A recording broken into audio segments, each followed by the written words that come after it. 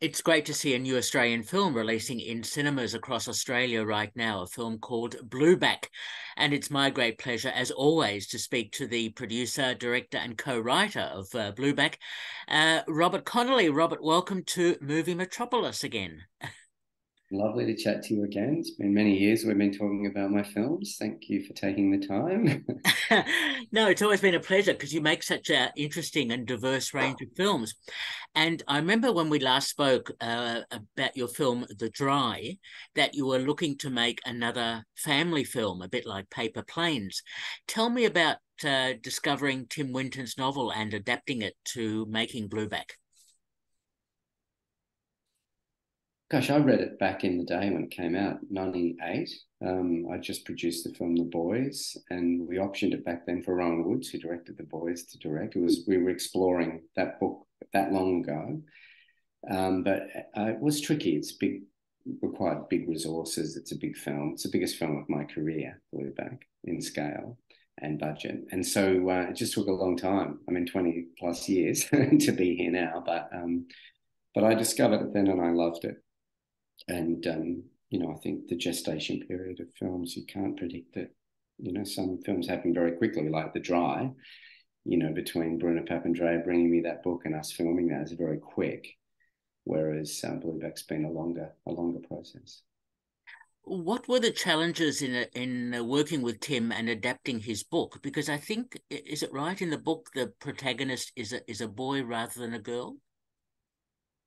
That's right. It's about a young boy and a mother, and I um, was getting a bit of grief from my two daughters about, you know, when I was developing it about, you know, making another film with a male protagonist, and you know, you've got two daughters, and women are saving the environment, and men have stuffed it, and what are you doing, man? You know, you know, and I, I kind of listened to. It. I had a great chat with Tim, and look, it's a universal story of young people rising to the moment, you know, and activism and standing up, and I think it speaks to both young women and men but when I changed the gender of the protagonist, the film was financed very quickly, actually. It became commercially more attractive, actually, which I thought was more an indication, I think, of how a lot of people feel that, you know, women are really leading this environmental movement fair enough too. And, and and this theme of conservation and so on. Did you find that there were other aspects of Tim's book that uh, were challenging to adapt? And how did he work with you on the adaptation?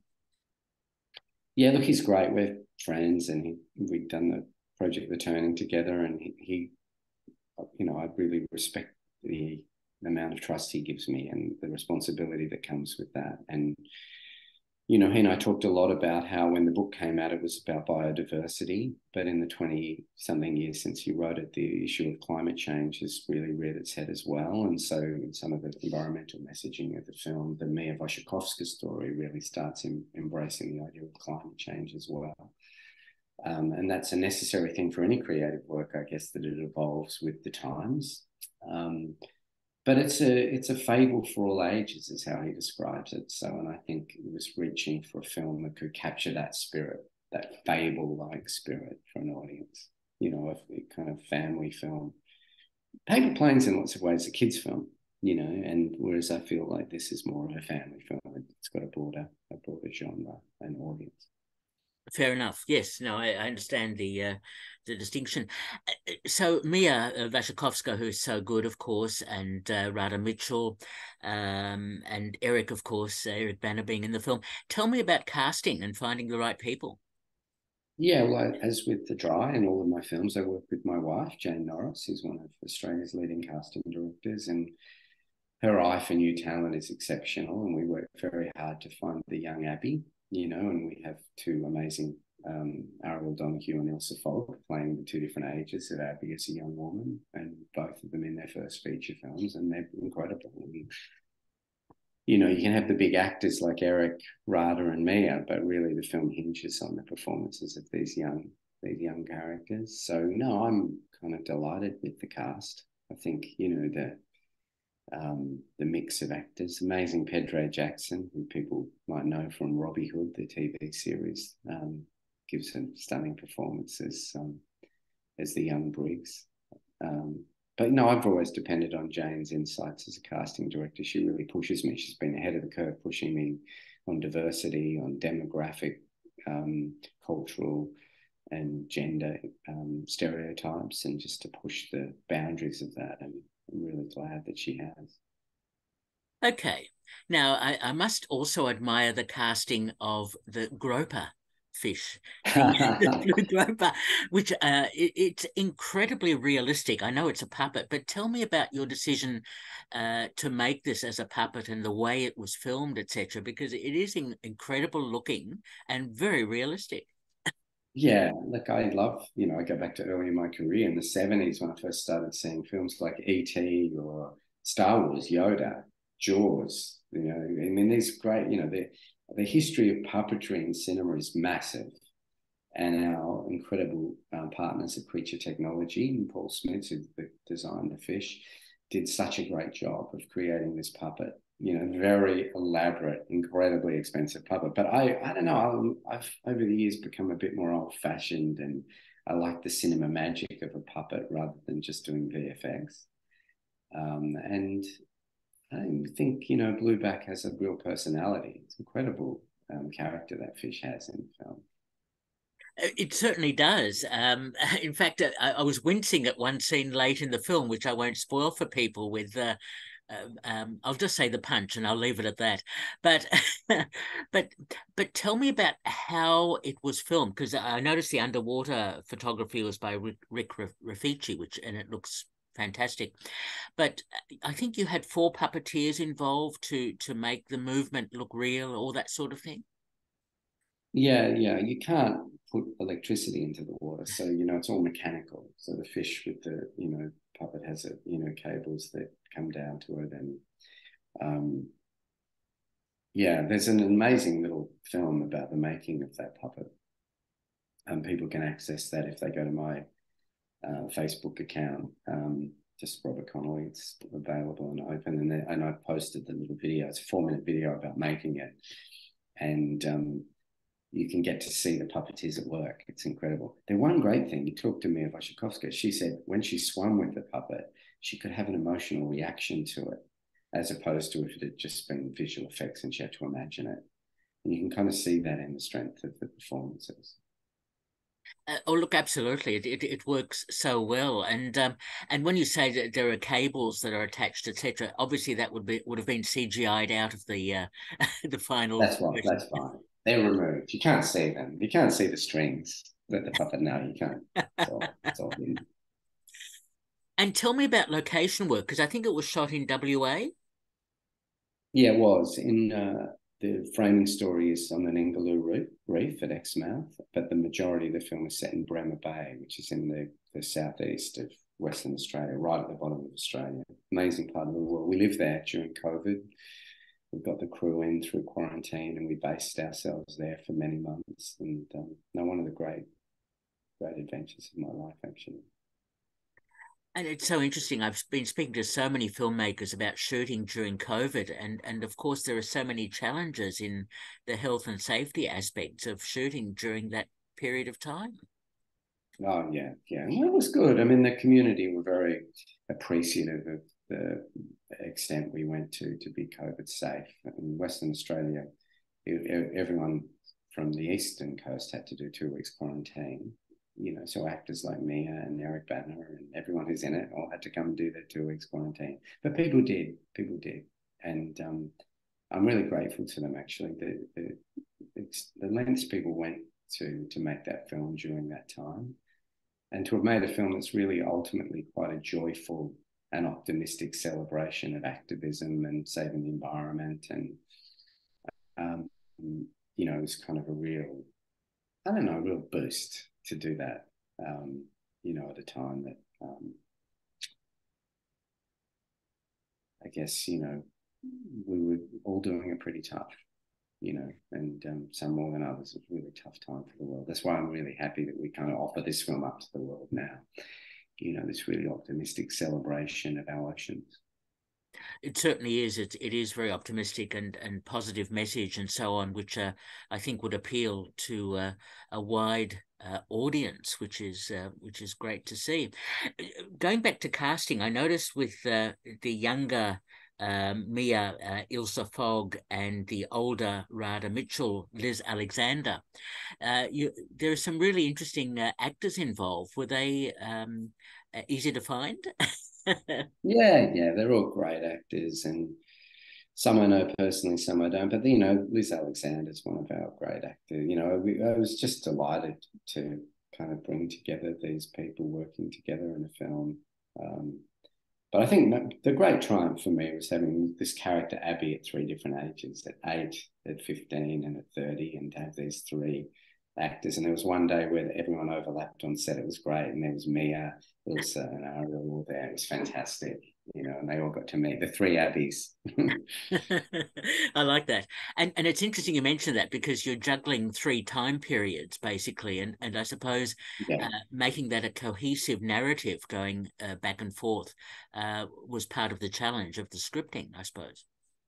Yeah, yeah, incredible collaboration with Nick Meyers, my editor, who did Paper Planes and Balibo and editing the film. Um, you know, because it is it's an incredible challenge to juggle the different time frames. But I love that about cinema. I love this idea. Someone you know said to me, if you look at your life, you know, how much in any given day do you think about the past, the present, and the future? And we think about all three all day in in a, in a balance. And I think cinema does that really well. Cinema can show different time frames and how they're hand in glove, really, in our life. So if you look back through all my films, they, they all do tend to have different time frames that they move between. Yes, and and apart from uh, Rick's uh, cinematography underwater, Andrew Commis did the uh, above ground yeah. cinematography. That is incredible. Yeah, yeah, yeah. The film has a real um, a, a shiny, uh, shining look to it, so it looks in, incredibly contemporary, uh, etc. So that must have been part of your process. Yeah, we use, you know, much like the Dry, these new large format camera systems and trying to make it feel epic and like you have to see it at the cinema and, you know, you get the kind of massive impact of that. No, it's a, it's very significant ambition of ours to make these works as cinematic as we can. Yes. And I must also commend the music score by Nigel Westlake. Tell me about uh, yeah, Nigel, using him. yeah. great composer, the Melbourne Symphony Orchestra people would know his work from Babe and Paper Planes and the big um, IMAX films he did with John Weiley, like Antarctica. He's an incredible composer. And he's got a deeply humanist quality to his music. He looks into the human soul with the music. It's very profoundly moving.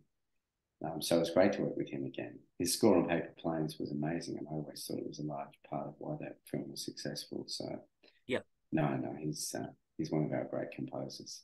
Great to work with. certainly is. Now the film's on on release uh, across Australia. Uh, I, yeah. I'm I'm assuming, of course, the film Blueback will have a lot of currency overseas as well. Yeah, yeah. I head off uh, this Wednesday to the Sundance Film Festival, where it has its US premiere this Friday night. So this coming Friday night, we'll be having our premiere in Salt Lake City, and uh, yeah, so it's it's all pretty crazy at the moment. Life's busy, and the film is having a massive international life, traveling all over the place. So, just been released in Germany, in France, and the UK next, and then the US. So, yeah, watch this space. It's going to have a uh, have a really good life, and and that's a wonderful way to showcase a part of Australia to the world too. I think, which is really wonderful. Oh, that's excellent news, and that's that's terrific to see the film getting such a such great audiences and uh, and overseas. Yeah. And I, I just wanted to mention, Rob, I noticed that you're also producer of Emily, which is now on release. Yeah, another amazing um, gift in my career, really, to work with Frances O'Connor on her uh, directing debut uh, about Emily Bronte. Um, it's a beautiful film. Emma Mackey, who people know from the TV series uh, Sex Education, directed by Frances, who I had directed as an actor in my film Three Dollars many years ago, but she directs this. It's a beautiful bit of cinema. It's in cinemas also at the moment. Um, and quite wonderful to have these two films playing in cinemas for Australian audiences right now. No, thanks for asking about that film. We're delighted about that film. Uh, it's an incredible portrait of this great writer and and the uh, speculation about her life and what led her to write such an incredible novel. Um, but uh, yeah, no, for, for audiences, I think um, you're also seeing an actress in Emma Mackey's performance that's going to have a huge career. She's absolutely incredible. She is. And I was really intrigued by the uh, the construction of the story of how uh, Emily created Wuthering Heights and and this uh, uh, uh and and this uh, I suppose approach about how it could have happened, um, because there's very little documented about Emily Bronte's. That's life. right. That's right. Fran's really investigated the history, but she's tried to make a hypothetical work. You know, looking at the the time, and it's a strong work about a young woman standing up to the the pressures and the conformity expected of people, uh, particularly at that time of history. And um, yeah, no, it's great. It's fun. Really, really good film. Fran- Frances has done a fantastic job. Be really exciting to see what she directs next. Absolutely, I uh, fully endorse that.